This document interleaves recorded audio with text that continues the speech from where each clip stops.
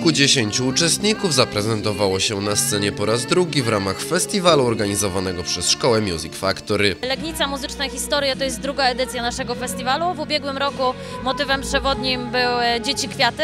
E, W tym roku jesteśmy troszeczkę zakręceni na punkcie bajek Disneya. Można było zobaczyć piękne, kolorowe postacie, które wykonywały znane każdemu piosenki. Poziom był bardzo wysoki, dlatego jury miało nie lada orzech do zgryzienia. Pocahontas króluje, kolorowy wiatr e, i piosenka pod tytułem Tej historii bieg e, z pięknej bestii.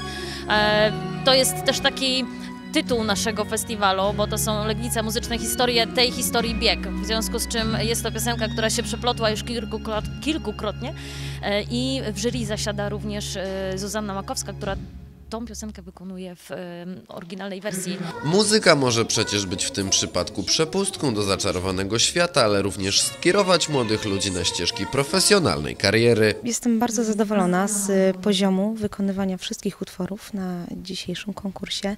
Naprawdę widać, że dzieciaki się przyłożyły i do e, interpretacji, do stroju, do tego, żeby wszystkie dźwięki były poprawnie wykonane. E, naprawdę fajny, wysoki poziom i widać, że dzieciaki też e, czerpią ogromną radość z wykonywania muzyki, co jest, no, myślę, najważniejsze. Uczestnicy byli podzieleni na trzy kategorie wiekowe, a każdy za udział otrzymał pamiątkowe nagrody.